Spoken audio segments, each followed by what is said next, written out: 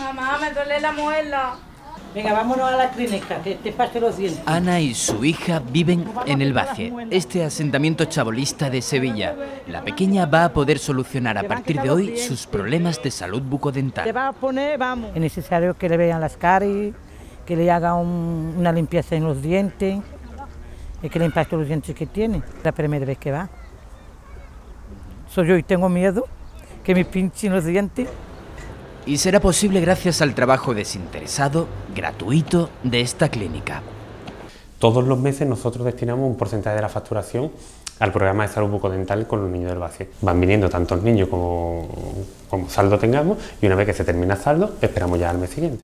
En el Bacie viven unas 800 personas, de las que más de 100 son niños y niñas en edad escolar que pueden beneficiarse de este proyecto en el que colabora la Fundación Gota de Leche. Es la primera vez que esta chica de 14 años acude al dentista. Ha tenido que vencer sus miedos. Hay muchas veces en lo que mm, una muela duele, un diente muere y no tienes más necesidad. Entonces es mucho más fácil traerlo cuando ese problema llega a dolor que cuando es un programa preventivo.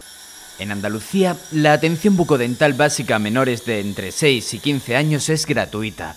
El problema es la resistencia de los habitantes del Bacie a seguir el protocolo de pedir citas, plazos de espera.